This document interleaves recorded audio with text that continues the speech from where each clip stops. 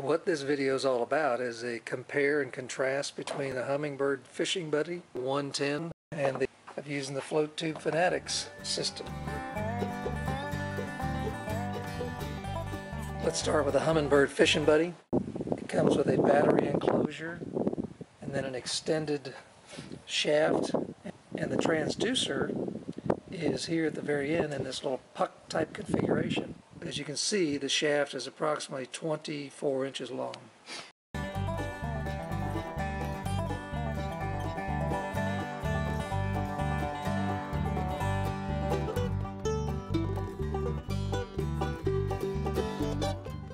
It comes with a clamp.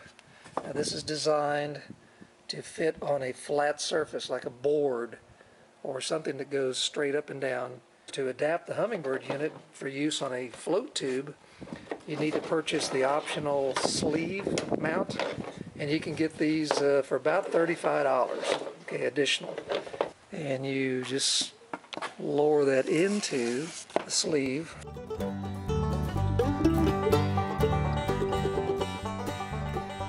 Here's the water line right here, and the reading is approximately two feet below so your readings are off from the get-go.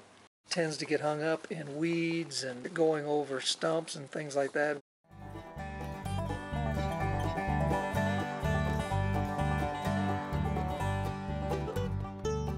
On the other hand, the Float Tube Fanatics system is a mounting system for whatever kind of depth finder unit you prefer. It just so happens that I have a Humminbird 160. There are two mounting plates. The first one is the U1, such as the one I'm using, and then it has a U2 mounting plate for your larger depth finders. So let's take a look at both systems side by side. The Float Tube Fanatic system, it's a nice neat mount, single strap, fully adjustable transducer. Just put your belly boat on the water, put your transducer down, tighten the thumb screw, and you're off and fishing. The Humminbird system, that's not the case. What you have to do is put the unit itself in your float tube first, and then when you get it out on the water, insert it into the sleeve and turn it on and then use it.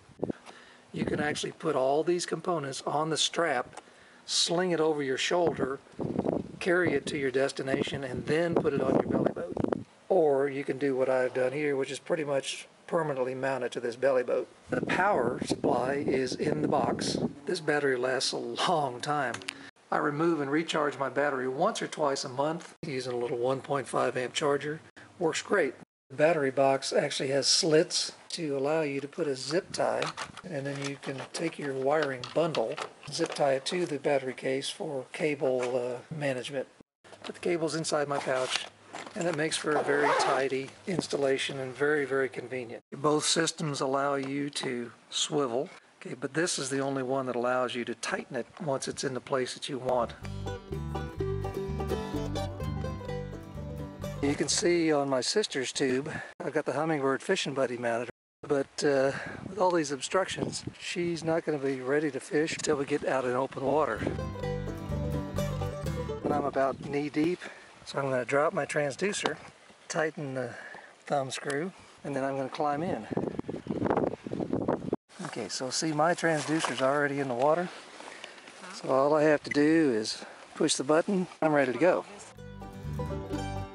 Where's your depth finder now? It's right here. Okay, so you got to carry it with you, put it in your lap, right? Okay, we finally busted through all the hydrilla and lily pads, and it's Power not ex yeah you can power it on. It's not exactly up and down, so you're going to have to adjust the strap a little bit. Oh, I think I'm all right. You have to move the strap this way, This way. which is something that you don't have to do on this system.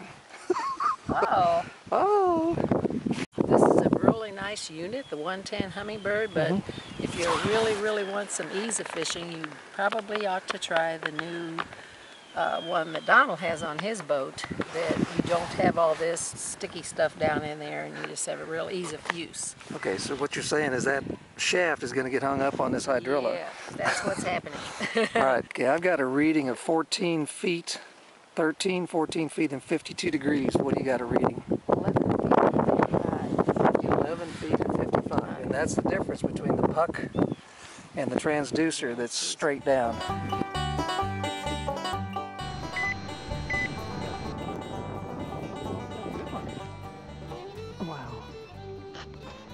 Is this is directly below me, so what I got to do is I got to get off of it.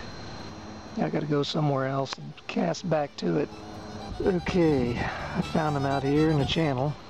Isn't that a beautiful crappie? My goodness. That looks yummy. 11 jumps up to 6. Right out there. What do we got? Oh! Wow. Bunch of fish got at 9 and 10 feet deep. 4 feet deep.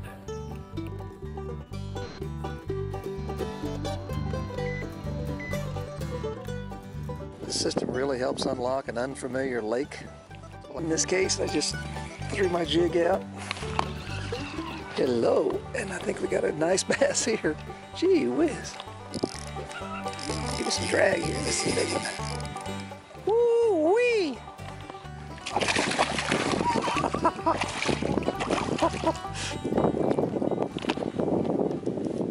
Sir. Come here. Oh my goodness.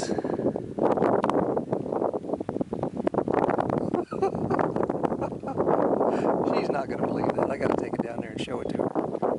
Okay, Reaper member, Don, my gosh, look at that whale. Is that a happy catch? Amen. That's worth coming? It, it is. Reaper, I'm gonna- I'm Reaper team rolling. Reaper team rules. Rules, hey, hey. He gets to swim again. We'll catch him another time. Say goodbye.